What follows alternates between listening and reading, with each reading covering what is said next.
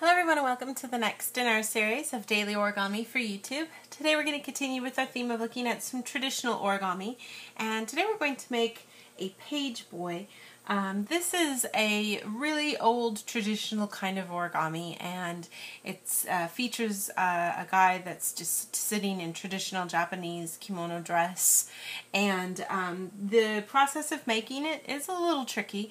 You do have to have scissors so uh, you know back in the day they used scissors or a knife to cut the paper to make it uh, this way. And it actually uses a technique that we saw uh, also borrowed in the um, Hina dolls that we made a few days ago too, where there's a section kind of cut through so that the head can pop through a section of the origami. So um, you should see that and think, oh, that looks a little familiar. So um, I'm going to be using just regular square origami paper, which is a 15 by 15 centimeter paper and I'll let you guys know the dimensions when we're done.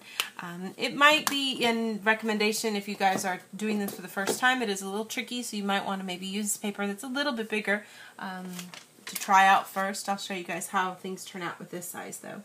Um, what we're going to do is we're going to start off here with our color side facing down.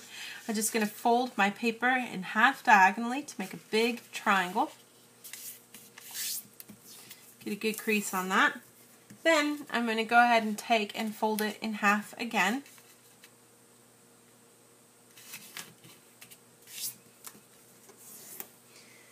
And then I want to go ahead and with my, I have my two little open flaps here, I want to be able to kind of fold this over and create a third. And um, the easiest thing to do is to start down here first with where everything is going to pinch together. And then to kind of just roll this around until you can get to a point where everything kind of seems about the same. And once you kind of get to that, then you can just pinch down and finish the crease here. And then what we're going to do is turn it over and do the other crease the other way too. So you want to try to get it as close to a third as you can. Should have every side kind of match up nice there. Once all that's completed, open everything up here. And then I'm going to take the left side and fold it over here on that crease that we had. And then on this side, I'm going to fold right over. Now this one means that that crease is going to need to be reversed because it's not going to go right the first way. And Get that part folded to the left. And then what I want to do is I'm going to take and I'm going to cut straight down through the middle uh, almost all the way down to the bottom. Now, where we're kind of shooting for here is uh, a, a, little bit ways into the last quarter of this section. Now, one thing you can do to kind of got, give yourself a little guide of where you're going is to um, first just fold everything in half again to make sure you can see where your center line is. Then kind of open things up and then what um, I like to do is just kind of pinch a little bit down here to give yourself an idea of where the center is. And then from that, take the bottom part and come up to kind of give yourself an idea of where the last section of a quarter is here. Now I want to go a little ways into that, about a third of the way. So again, I'm cutting straight down through all of this.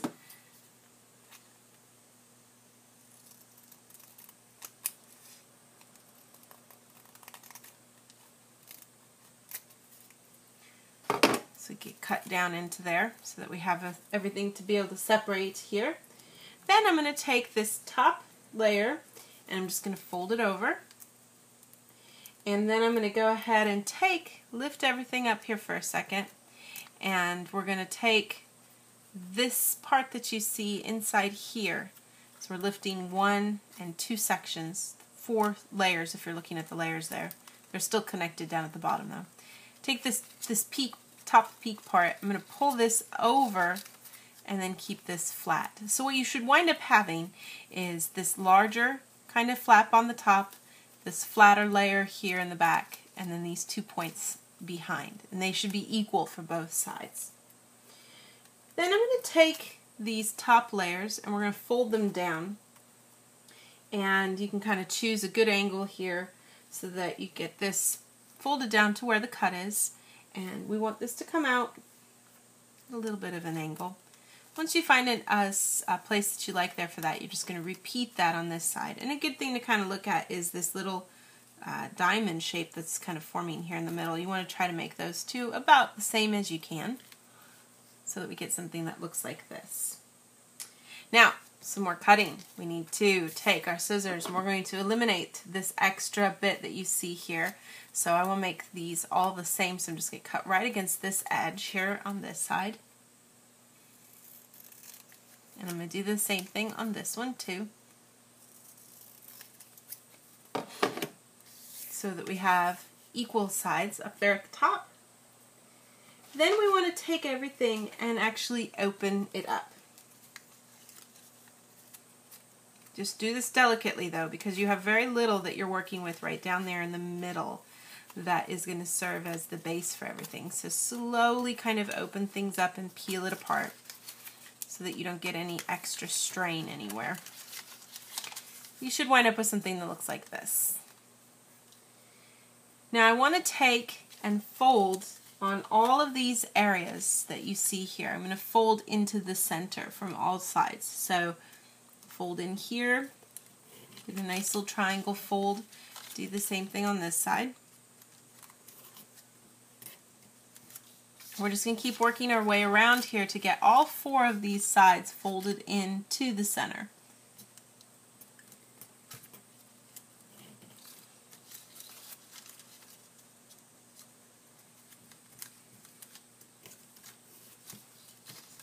And there's a bigger area right in the middle. You have a total of six.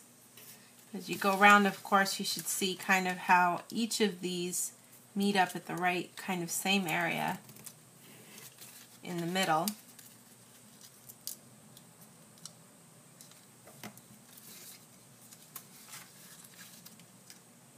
To sort of create a continuous connection between all of these sides.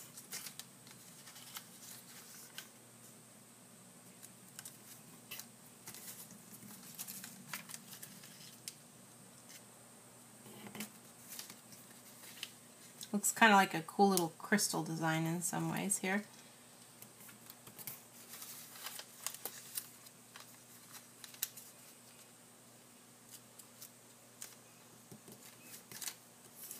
So we get all six of those, essentially 12 flaps, all folded towards their respective centers of those spaces there.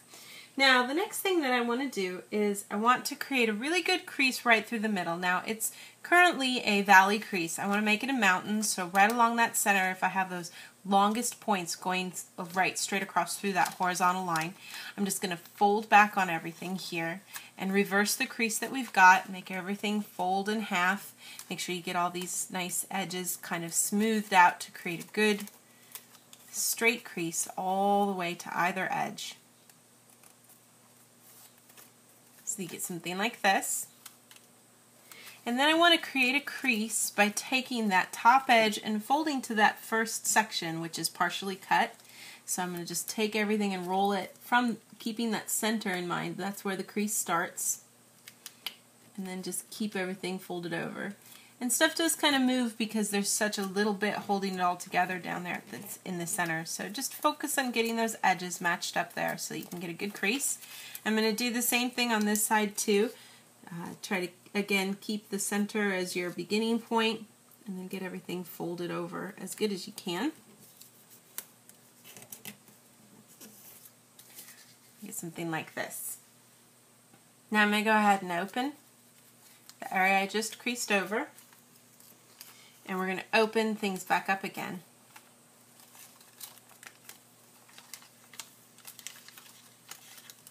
And flip it over so we're looking at the other side again here. Now I've got these new creases, these four new creases. Now you notice down here at the bottom both of these are valleys, and that's great. We want to make the top ones valleys too. Now you can't just fold because the center is still all connected. So what we want to do is just take all of everything here to kind of reverse that crease and get it to go the right way. And we're just going through these steps because we want to make everything a little easier later when we collapse this all down into one shape. And so this it seems a little tedious, but doing all these steps will make the next, the last little bit here, as we push it all into one shape, will go a little smoother because we get the creases going the right way. So what I've done right now is something I'm going to repeat two more times for these other two peaks that you see here. So for example, I can choose this, this set right here, and I'm just going to go ahead again and make that crease a mountain crease by folding everything in half. We're just going to follow the same kind of steps that we followed before. So I'm going to be taking that top edge and rolling it towards the crease that I have, keeping my center as the beginning point for everything as much as I can. Just be careful not to snag on any of those edges. Do this one too here.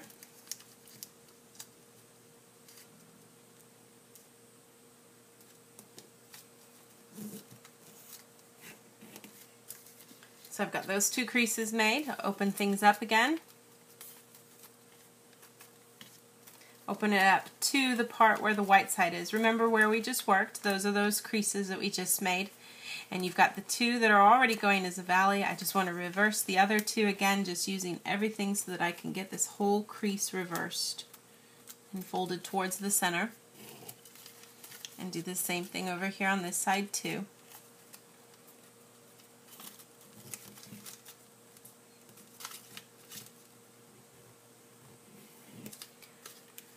And then we just needed to do it one last time on this last section. Again, we're folding out so that it becomes a mountain. And then folding these pieces in. And this will give us the last bit that we need to collapse everything into the shape for where we'll work to make the page boy.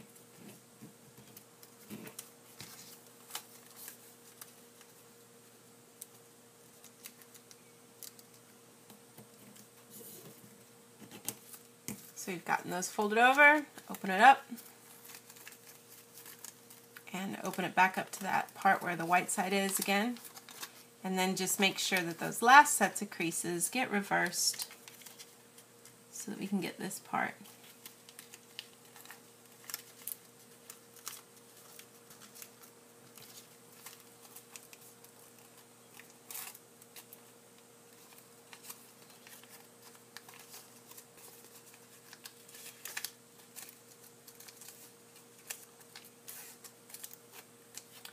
So we should have all the creases now so that we have everything kind of going as a valley crease there when you look at it with the white side facing up. And what we're going to do is just kind of collapse everything together using those creases. So essentially what I'm doing is I'm going to be taking, and you can start at any one of these points. I'll start at this longer one here, for example. I'm going to be taking what I've got here and folding in and bringing that other side in too to kind of overlap with it so that we get these two points where that cut is, folding into the center. And then I could put a little pressure and just fold in again. We're just going to keep doing this accordion fold to get all this to kind of pinch together into the middle and allow everything to collapse. And you want to just make sure everything is getting a nice smooth edge down there on the side.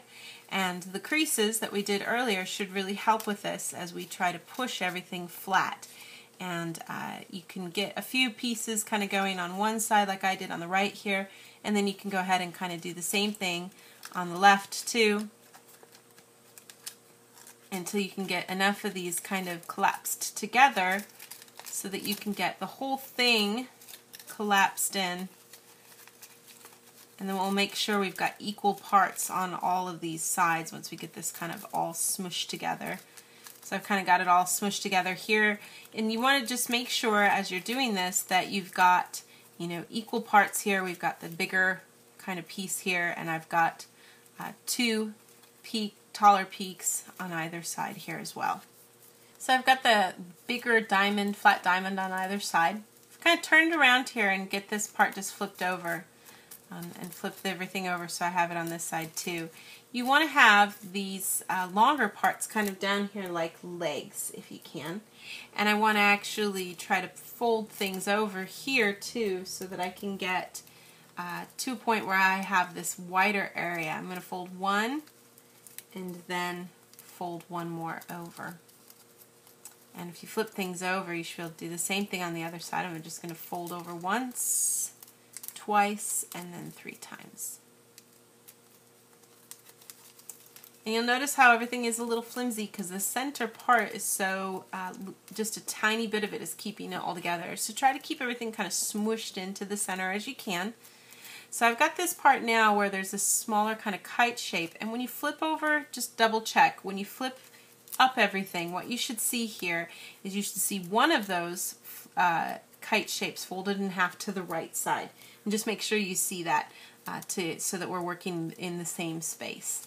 Um, if you're looking at it uh, the other way and you've got this guy here and you open it up, you'll see it on the left side. We don't want that. We want to make sure we're working with the other one. So we want to make sure we get this part folded over and that we're now looking at this side here.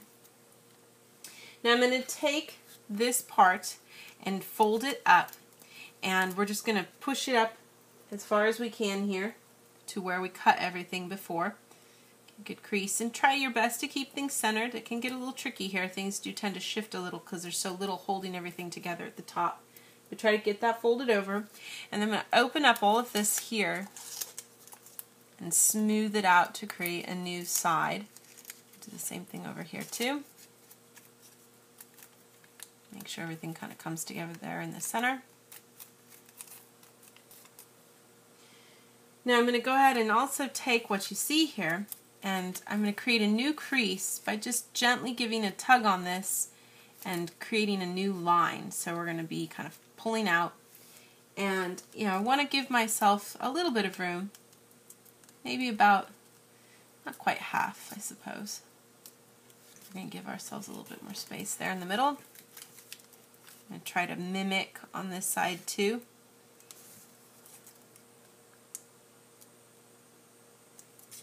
That we can see some of that white underneath, like so. Now we're going to use our scissors again a little bit here to cut back in the back. And I find actually what works good is to cut a little farther than you might think you need to, just so that we have a little bit more room to work with stuff. Um, we're going to just going to fold things in half here, and you won't be able to fold very far. We're just going to pinch here at the top for a second. Just to give you an idea of where we're cutting, there's this crease that you see right here and if you were to draw a line that would go straight to that uh, side over here on the left, that's where we're cutting towards. And what I actually want to do, um, just to make it a little easier, is instead of just cutting to that edge, we want to kind of cut inside here a little bit too. So make sure you're not accidentally cutting these flaps that you see on either side. We don't want to do that. So I'm just going to kind of open things up a little bit and then just try to cut back to that point that we see back there.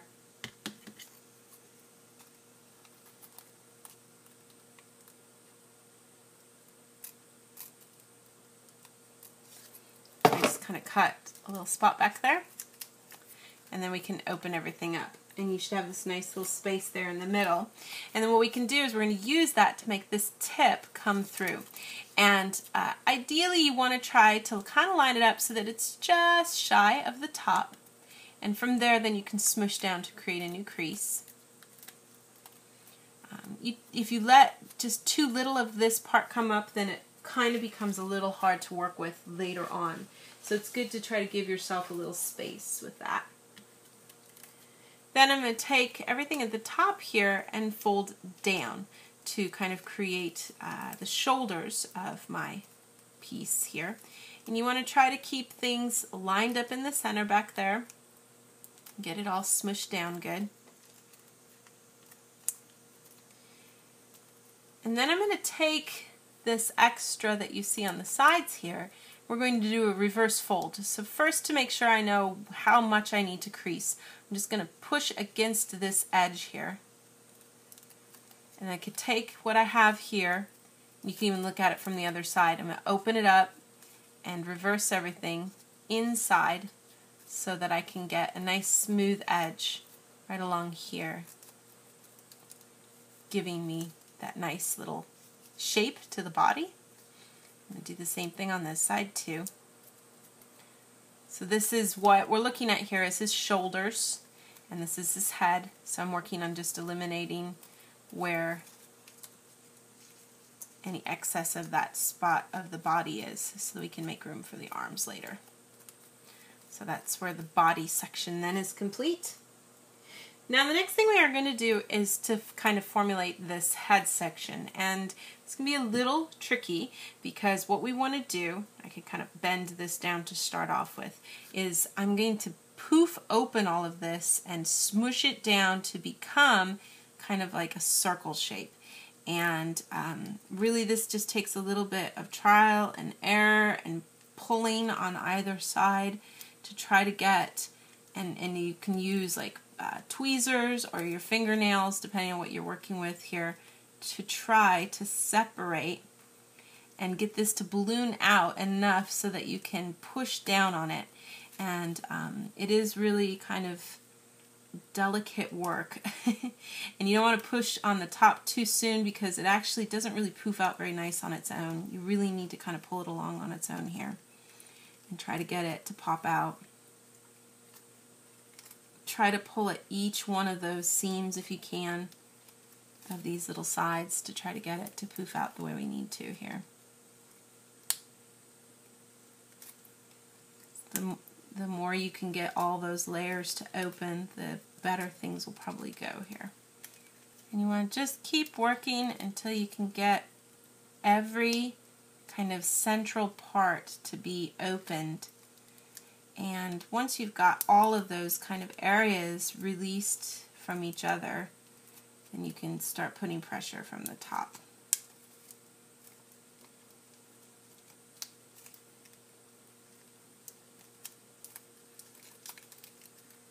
And you want to try to shoot for allowing that middle point to serve as the center. If you can get that part to be in the middle, and then just tug gently on the other sides until you can get a nice little kind of rounded area there at the top to serve as the head. So we wind up with something like this. And from the back, you know, it might look a little yucky. That's okay. It doesn't need to look perfect, but you want to try to get that expanded out and smushed down as much as you can. This is definitely a difficult technique. Um, if you're having trouble with it, you might want to practice it with some larger paper um, I've done it sometimes and it fails me miserably, so I have to start over. So don't be discouraged. Uh, just keep trying and uh, until you can get it to work uh, the way you need it to to get it smushed out. So we've got this guy's head all done now, so we're going to work on his arms. So if I take those longer pieces that you see here, and I'm going to go ahead and reverse them out. I want to make them come up here from my center and go ahead and kind of get this part reversed first. I want to try to shoot for uh, matching up right at this corner. So find a place where everything can kind of be smushed down first and you can get that parts together and you want to try to get it to go at as straight of an angle as you can and this can be really hard. You want to just keep playing playing with the angle you're working at a few times until you can get it lined up as straight as you can with this edge here. So you've got that, smush it down. It's going to come up kind of funky up there. That's okay. We want to make sure that we're dealing with a nice straight edge down here at the bottom. I'm going to do the same thing on this side too. So kind of get it going the way you need it to.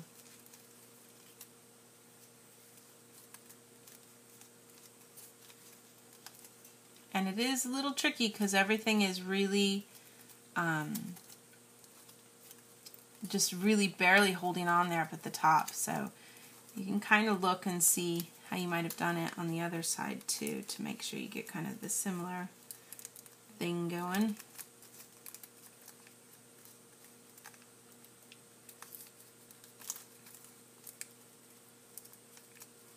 So we kind of get something like this. So I've got those two arms up now, and I'm going to deal with these legs. We're going to make it look like he's kneeling on his knees. So I'm going to take this top layer and I'm going to go ahead and reverse things. And I do want it to come up beyond this edge just a little bit up here, but still come down to this point. So it's, it's coming up just a little bit inside here a little. And we'll get that to kind of pull out. And you want to try to make it about the angle so that it's about the same as the arm above it. You want to kind of create parallel lines here if you can a little bit. So get that part popped up. And then this one too.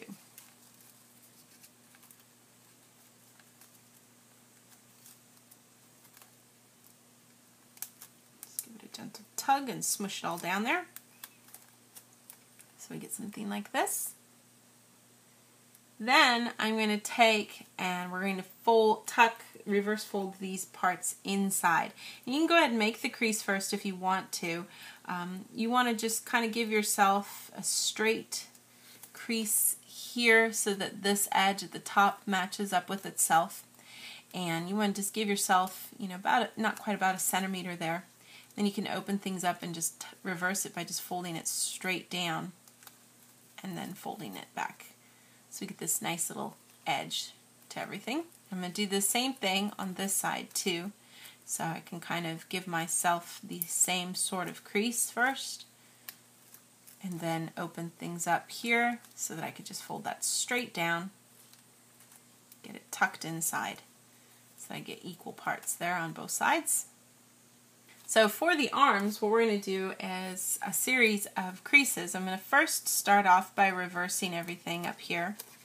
You can kind of play around with it, but I want to get it to come down so that it sort of goes straight across the body, right in the middle. Get it to kind of go like this, where, where it comes right through basically at an angle where this edge hits right at the corner of the leg, leg where it's sitting on his knees. Once you've got that, then go ahead and smush it down at the top.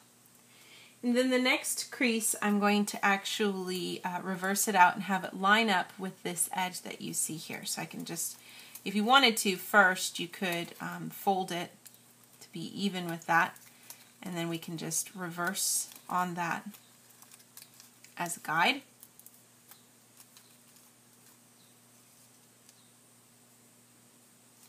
And then as a last little bit, what we're going to do is take the arm and we're going to reverse it totally inside so that this tip actually sticks out to be like a little hand. And you could choose how much of it you want to have showing, but um, I'm just going to choose a little bit here to have it so that this much will be sticking out to kind of prove like be like a hand there. Go ahead and crease that once, then you just open things up and fold it straight in half.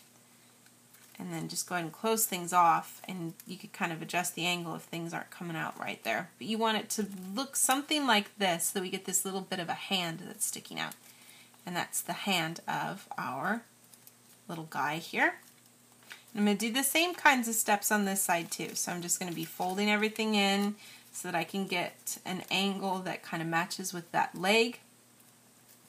Then I'm going to take everything and get it to match up with the part that's on the side.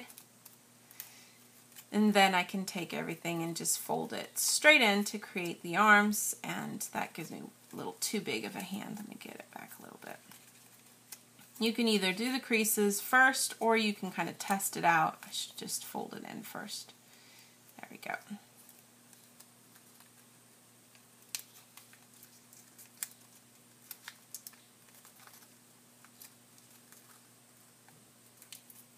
And you can then just sort of tug that down until it's popping out the right amount there to serve as the hand. So you've got these two arms now with the little kind of sections that would serve as hands here. And then his knees down here too. Now the last little bit is going to be to get the back part tucked behind. So if we flip everything over, I'm just going to take this bottom section and we're going to fold straight up so that it's even with these two corners here. Then I'm going to take this and fold it down just a tiny bit. Then I can go ahead and take the bottom part and fold that up just a little bit, not all the way to the top.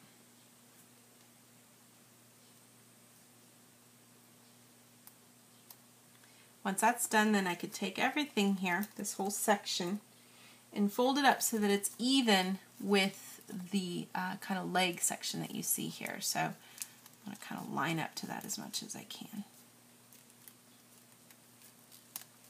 And this gives you then a really nice back view and front view for your page boy. And you should have something that kind of looks like this when you're done.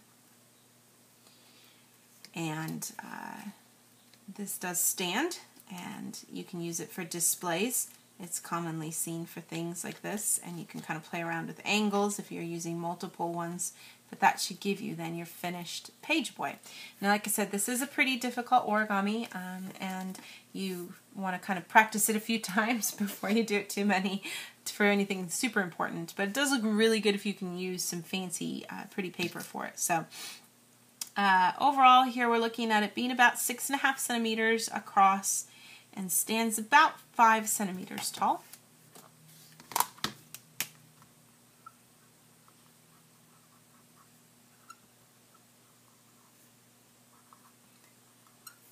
again, just a fun, traditional, really Japanese looking kind of origami that you can use for uh, decorations and things like that for sure.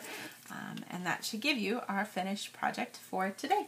Thanks so much for watching and we'll see you next time.